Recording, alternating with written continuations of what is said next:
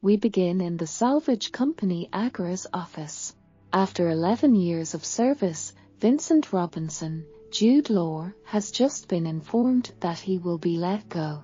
The business has changed, according to his HR representative, so they no longer require submarines or submarine pilots to search for salvage. He is one of their best employees, so it has nothing to do with his work ethic. He was able to receive a severance payment of £8,640 after the HR representative spoke with some of his superiors. Robinson is asked if he has a pension or private savings by the salesperson. Robinson cuts him off by saying that he has more than 30 years of experience in subs and that he spent 11 years working for Agora. Due to his commitment to the job, he lost his family. Robinson is uncomfortably informed by the HR representative that they expect him to clear his desk by the end of the day. Old family photos are all that await Robinson when he gets home to his tiny, depressing apartment. Robinson makes an effort to be proactive in looking for a new job, but it is obvious that he is up against too many men who are similar to himself and that his heart isn't in it. He is questioned about his 15 years in the Navy and the reason he left. He says, I had a disagreement with someone. Robinson observes Chrissy, his ex-wife, pick up his son from school while keeping a close eye on him. Robinson observes with longing.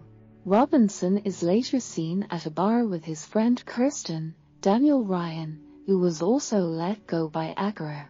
Kirsten tells Robinson he knows a way to make a lot of money and finally live the lives they deserve after going on for a while about their lot in life. Robinson visits a sizable mansion where he is greeted by Daniels, a lawyer. Scoot McNairy. Robinson is instructed by Daniels to only ask direct questions and not to inquire about Mr. Lewis's, Tobias Menzies, willingness to invest money or desire for it. Daniels cringes as Robinson asks Lewis those two questions the moment he sees him. Daniels describes what they are looking for during breakfast. The German economy was on the verge of collapse in 1940.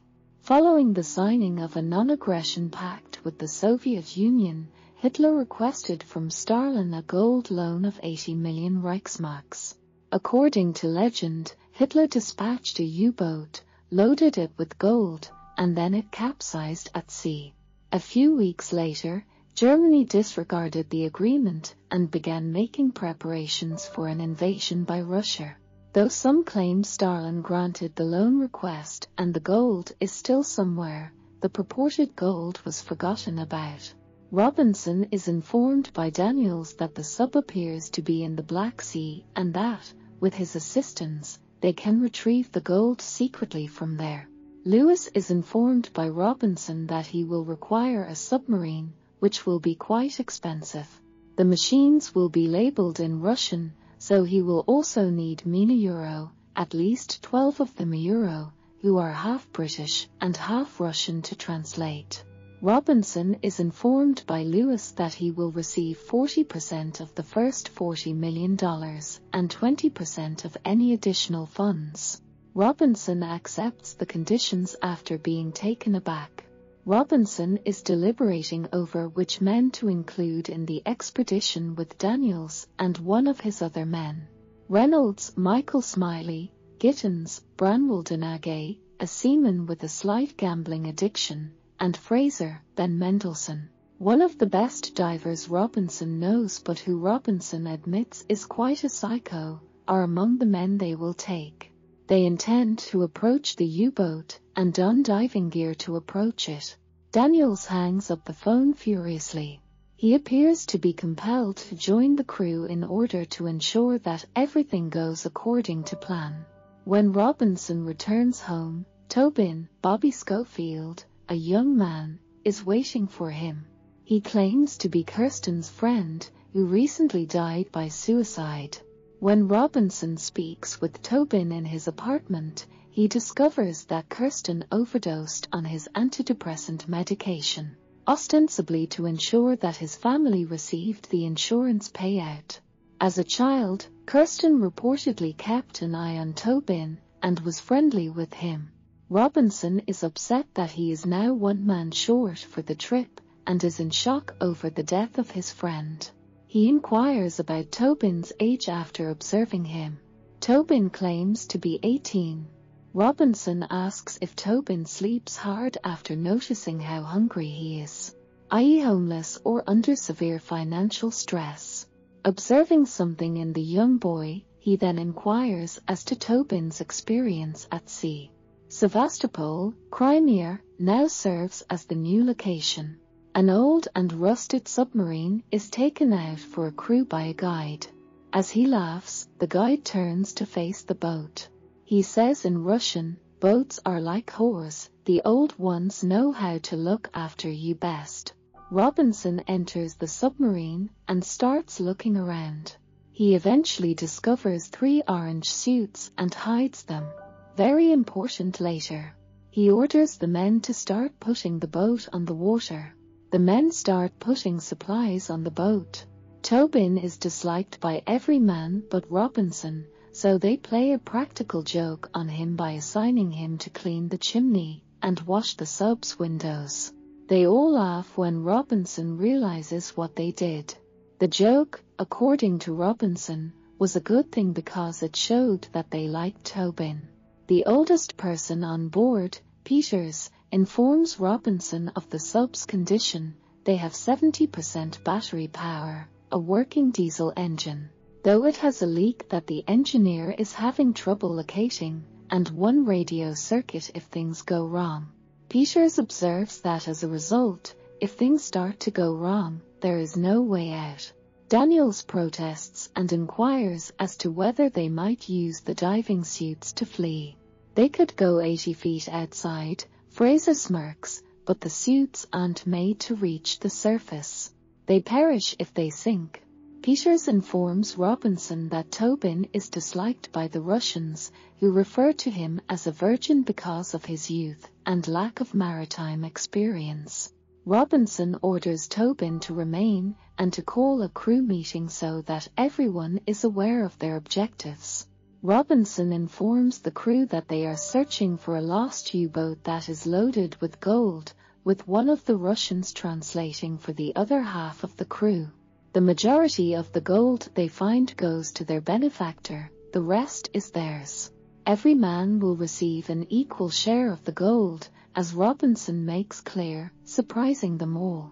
Daniels pulls Robinson aside and inquires as to why he didn't simply pay them a small percentage as Robinson orders them to make final diving preparations. Robinson claims that because every man is risking everything for this mission, they all receive an equal share. What occurs when someone begins to believe that their share increases as more people leave the company? Daniels queries, for even implying that his men would turn to murder in the name of greed, Robinson almost hits Daniels. One of the Russians informs Robinson that Zaitsev, Sergei Puskepalis, the engineer, has rejected Tobin's assistance. The man is instructed by Robinson to inform Zaitsev that he must cooperate with Tobin or get the fuck off my boat. How Tobin can assist Zaitsev is explained to him. Despite being overburdened, he is ready to take the necessary action. The Russian and British crews are starting to develop tension during the dinner break.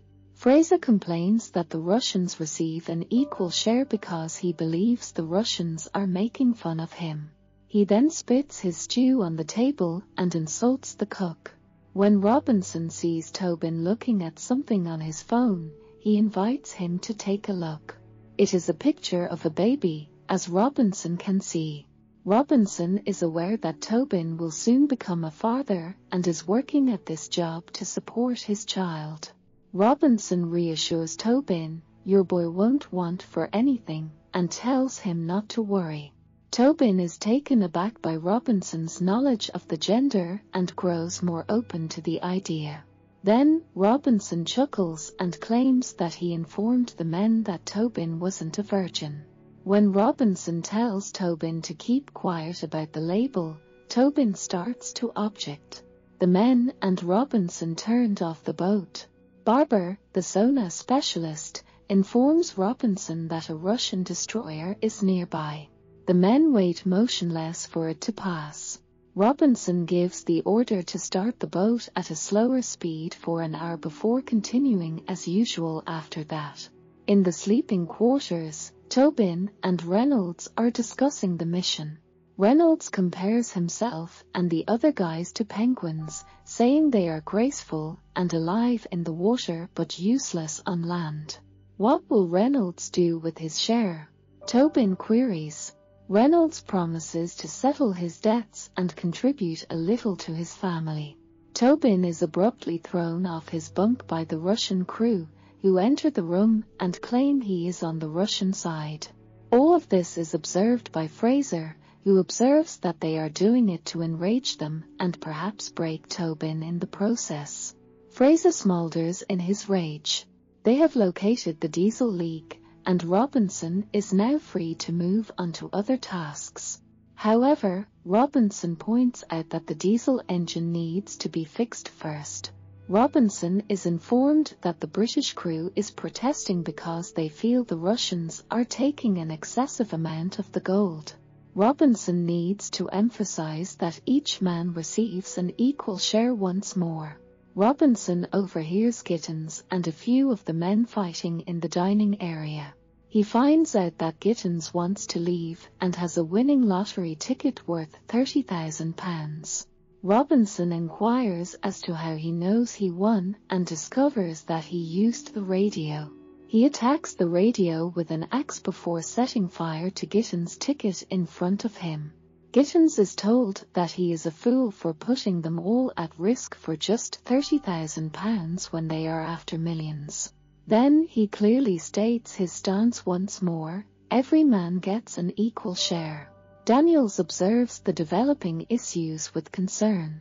Fraser plays with his knife while sitting in the sleeping quarters. Then, in an effort to start something, he moves to the engine room.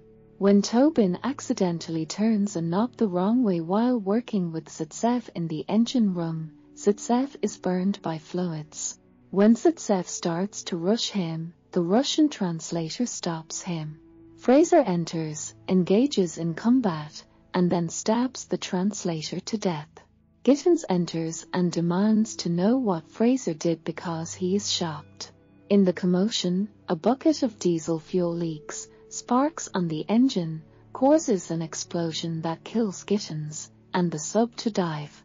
Robinson is completely out cold by the shock, which jolts everyone.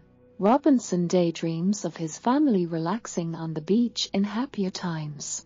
Then, as he grew estranged from his wife Euro, who had grown weary of his long hours at work Euro, she started to argue with him in front of their son. Robinson asserted that she was more concerned with financial security than having a husband present when they eventually got divorced. It would seem that Robinson is undertaking the expedition in part to support his family. A nasty gash is visible on Robinson's head when he awakens in his sleeping quarters. He spits out while turning to his side. He sees one of the dead men's body when he looks up. He quickly spots the other. The sub is submerged at the bottom of the sea. Robinson finds out that they have roughly 36 hours of power left and that the sub is essentially shot. The Russians have moved to the other side of the submarine after Fraser killed two people. The Russian crew has the water, but the British crew has the food, so soon one side will triumph over the other. Are we going to pass away? Tobin queries in fear. Robinson responds, no. Robinson tries to speak some Russian as he makes his way down the hallway. He says it again after spotting Morozov, Grigory Dobrygin. Robinson then realizes he can speak English after Morozov inquires as to what he is attempting to say. No one had ever questioned his ability to do so. The boat needs to be repaired collaboratively, according to Robinson, and what Fraser did won't be forgotten. Robinson, however, is dependent on Barber to operate the sonar in order to escape their predicament. Robinson succeeds in persuading the Russians to declare a ceasefire, at least temporarily. Robinson concludes that if they can locate the U-boat, they can steal its drive shaft, retrofit it to their submarine, and get it operating once more. Since there is no oxygen decay in the Black Sea at their depth, the component ought to be intact. Robinson instructs Fraser and Peters to dispose of the corpses by emptying the torpedo tubes. Barber uses an enormous metal object as an improvised sonar device to thwack on the ship's hull and determine their location. Zaytsev threatens Fraser, saying he will eat his liver when they clean up their mess. Fraser says they'll deal with that when the time is right, and appears to understand that he is being threatened. Robinson and Morozov are aware that they might be on the incorrect canyon or just 100 meters away from the missing U-boat. Robinson makes the decision to look either way because, if they don't, they will already be dead. But he needs divers. Fraser is there, but he really needs three. Fraser approaches Peters despite his advanced age, and when forced to identify a third man, Tobin steps forward because he has experienced scuba diving. Robinson instructs Tobin to put on his gear and pay close attention to Fraser because he is an expert in his field. Fraser is urged by Robinson to complete his task properly because they only have one chance. Tobin, Fraser, and Peters exit the submarine and dive into the water. The torpedo tubes fire the tools they require at them. On the sub, Peters positions a light. Tobin spots one of the dead bodies as Fraser and Tobin start to move in the direction of where the sub might be, almost falling off a cliff and only being saved by the oxygen line. Fraser just in time helps him stand back up. Peters is building a cart to transport the drive shaft close to the sub. The ocean bottom rises as they make their way to the destination. Fraser believes they are trapped in the incorrect canyon and are therefore doomed. Robinson feels defeated, but Tobin sees something and looks more closely. As he starts to sift through the sand, he discovers a Nazi swastika. Sand had been all over the boat. With renewed optimism, the crew applauds. Fraser, Peters, and Tobin enter the sub that hasn't flooded but they are unable to remove their suits because the air inside the sub has turned into chlorine gas. They discover a number of skeletons, some clearly the victims of suicide and others chained. When Tobin inquires as to whether this was a prison sub, Peters is horrified to inform him that it appears that cannibalism occurred right before these men's lives came to an end. The drive shaft is located, and Peters and Tobin start to remove it. Fraser laughs in or as he looks ahead and discovers a stack of the gold they were looking for. The three ask for the pulley system to start moving after loading the drive shaft, but the mud is deep, and the cart can only go so far. The three start to exert pressure on it to move, albeit slowly. Robinson is informed by Morozov that the winch is pulling with 4 tons of force. Robinson understands that they are also attempting to move the gold. Peters is aware that they are approaching a cliff that will cause everything to fall, but Fraser is adamant about keeping the gold. Daniel screams in fear and orders them to leave the gold, but Robinson tells Fraser that if he can move the cart away from the cliff, it is his decision. Although they lose a few gold bars in the process, Fraser and Peters are using metal rails to move and turn the car. Peters climbs up the cliff's edge to try to turn it, but as he does so, he tumbles off and cuts off his air supply. He is killed when he plunges to the ocean's floor. Fraser is horrified by this because he has never lost a man while diving. Fraser and Tobin go back to the submarine. The crew is now down to the bare minimum of nine men, which is required to operate the sub.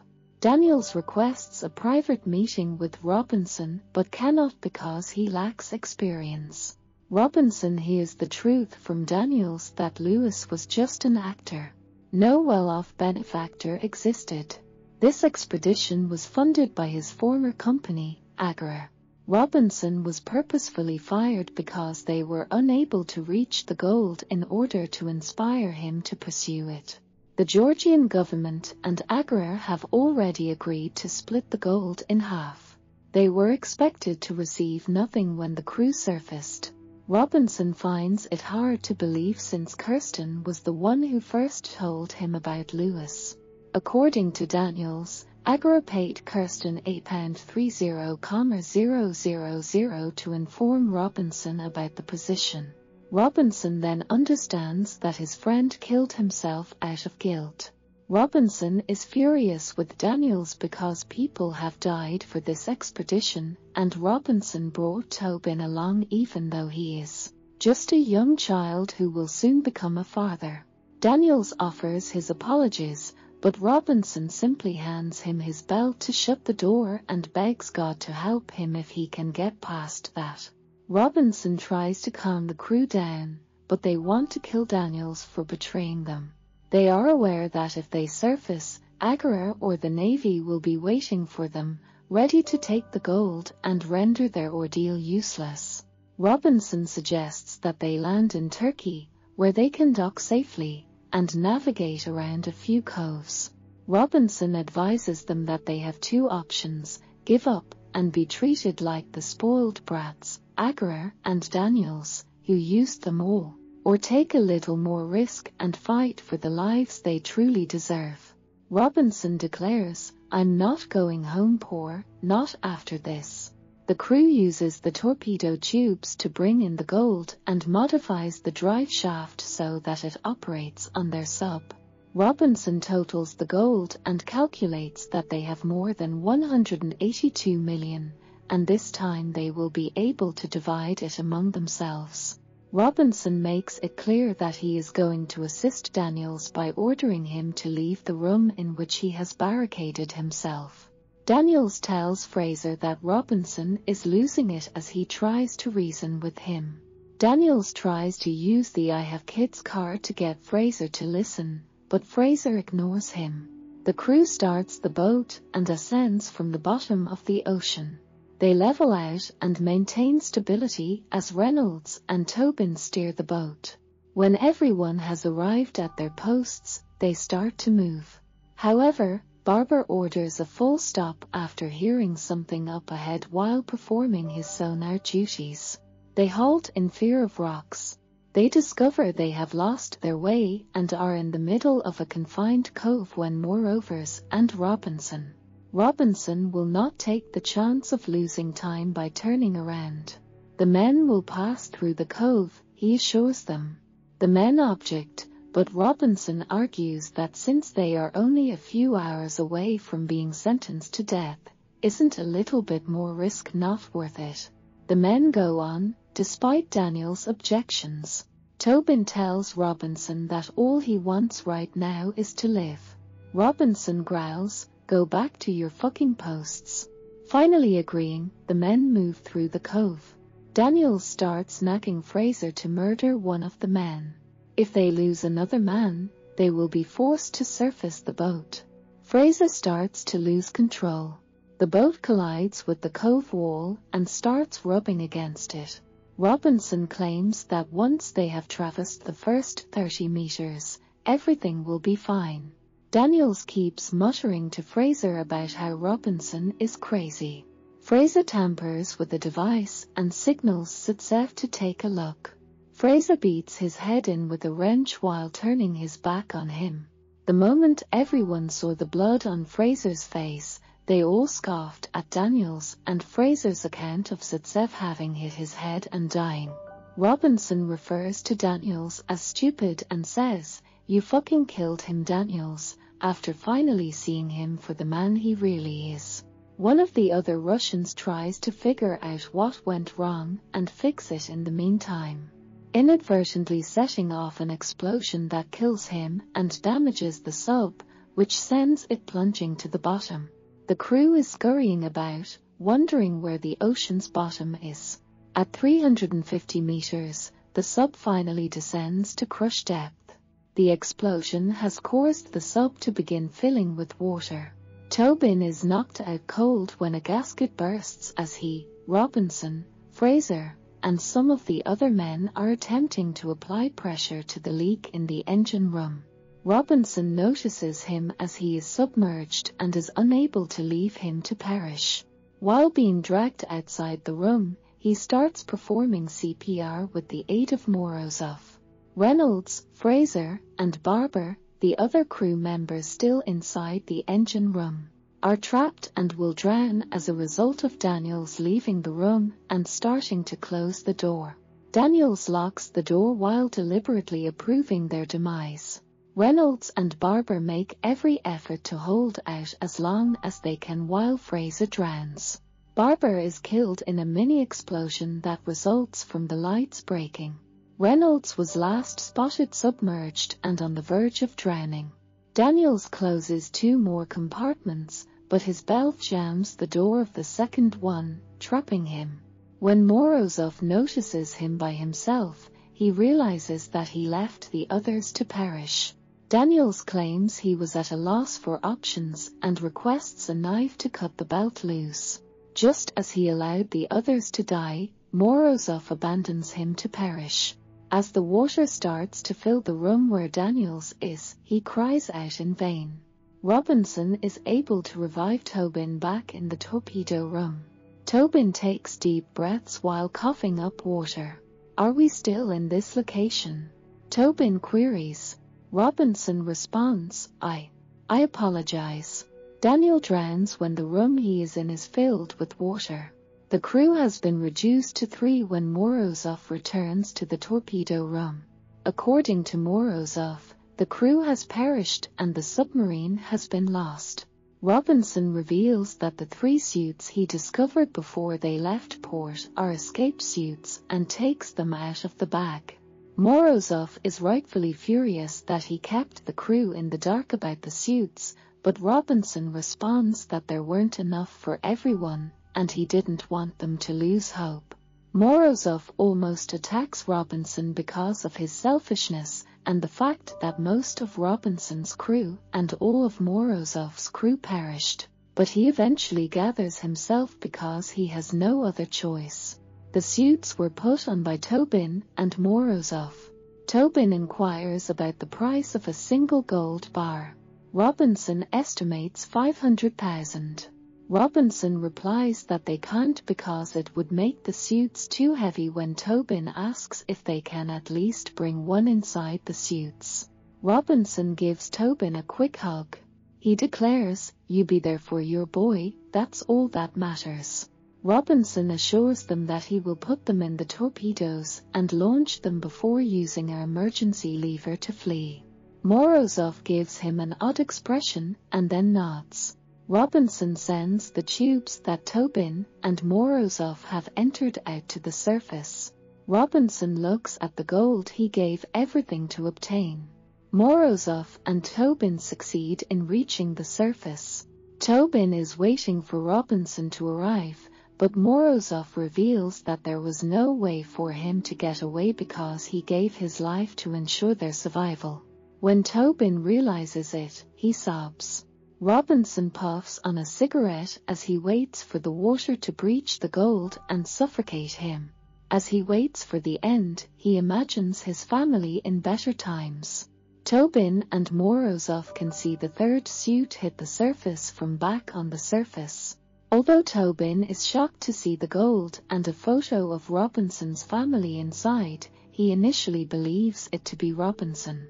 Robinson apparently used his suit to send the gold up for the two survivors before the ship was completely submerged because he apparently did not want everyone to have died for nothing and to make sure Tobin can support his new family.